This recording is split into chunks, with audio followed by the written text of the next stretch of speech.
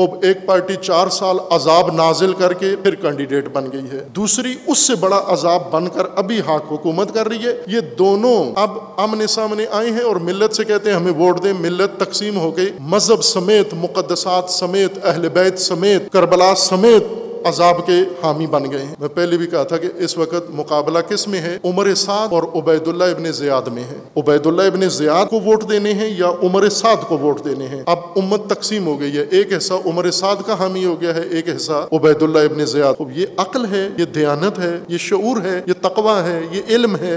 इमाम हुसैन सलाम को छोड़कर लब्बैक कहो उबैदुल्ला को या उमर साद को। तो इमाम हुसैन क्या कर रहे हैं कूफा में रहते हो, मुसलमान हो, तुम अपने आप को पैरोकार कहते हो, शिया कहते हो, दावत देकर बुलाया है, अब किसके लश्कर में खड़े हो? उबैदुल्ला के और उमर साद के लश्कर में खड़े हो और हुसैन को कत्ल करने के लिए चाह पहुँचे हो तुम। क्या ये मातमी हुसैन के रोक नहीं सकते इस जुल्म को?